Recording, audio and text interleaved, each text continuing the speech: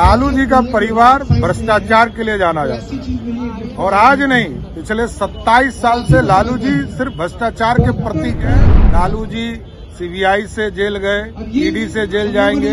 ये परंपरा है उनके यहाँ कोई नहीं पिछले बार राजद का खाता नहीं खुला था इस बार जदयू का भी खाता था नमस्कार आप देख रहे हैं एक न्यूज़ 24 और मैं हूँ स्वाति आपके साथ। स्वर्गीय कमला देवी के स्मृति में चिकित्सा शिविर का आयोजन किया गया था, जिसमें बिहार बीजेपी के प्रदेश अध्यक्ष सम्राट चौधरी भी शामिल हुए। और इस दौरान सम्राट चौधरी ने एक बार फिर से लालू परिवार को लेकर बड़ा बयान दिया और साथ ही उन्होंने जदयू और कांग्रेस को भी निशाने पर लिया। खबर को विस्तार से जानेंगे, उससे पहले आप इस रिपोर्ट को सुनिए। काम नहीं है। भाई, क्यों आप लोग चिंतित हैं?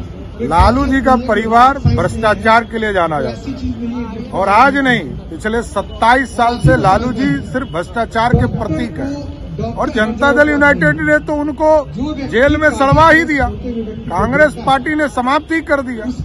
इसलिए कोई नई बात नहीं है। लालू जी सीबीआई से जेल गए, ईडी से जेल जाएँगे। ये परंपरा है, उनके यहाँ कोई नई बात। की स्मृति में, स्वर्गीय कमला देवी जी की स्मृति में चिकित्सा शिविर गंगा बाबू के पूरे परिवार ने लगाया है। ये स्पष्ट दिखलाता है कि सरकार शरीर के ऊपर पूरी व्यवस्था खड़ा नहीं कर पाया। मेडिकल फैसिलिटी पूरी तरह स्थापित नहीं कर पाया। इसलिए स्वाभाविक है आम लोगों को इसके लिए आगे आना पड़ेगा। कितना भी मिल के लड़ो कोई फ़र्क नहीं पड़ता है। चालीस में पिछले बार राजद का खाता नहीं खुला था इस बार जदयू का भी खाता नीतीश कुमार को चेहरा नहीं स्वीकार कर रहे हैं। अभी भी डी राजा कह रहे हैं कि चुनाव के बाद ही फैसला होगा। तो अच्छा है नीतीश जी का इसमें कहा तो मत है? बुज़ुर्ग हैं और लगभग पचहत्तर वर्ष उम्र हो रहा है। आजकल थोड़ा बीमार है।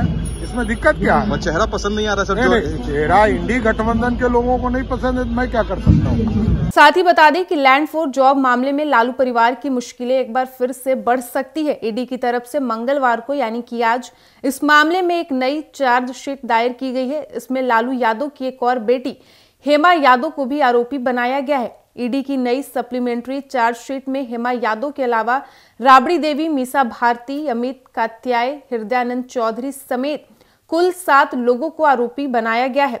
वहीं सूत्रों की माने तो इसमें दो कंपनी भी शामिल है, जिनका नाम फ़िलहाल अभी स्पष्ट नहीं हो पाया है।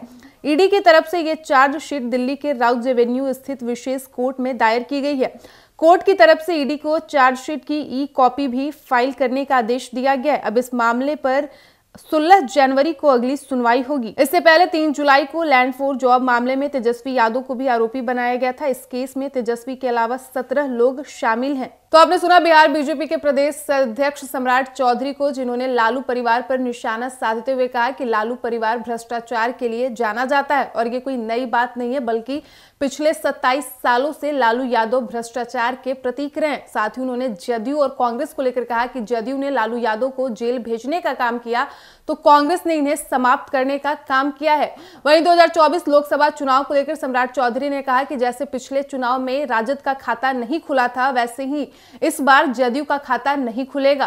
फ़िलहाल इस वक्त की खबर में इतना ही। वीडियो पसंद आया हो तो वीडियो को लाइक करें, शेयर करें, साथ ही हमारे यूट्यूब चैनल एक न्यूज़ ट्वेंटी को सब्सक्राइब कर ले। यदि आप हमें फेसबुक पर देख पा रहे हैं तो हमारे फेसबुक पेज को भी फॉलो करें और ऐसे ही तमाम खबरों के लिए बने रहिए हमारे साथ। धन्यवाद।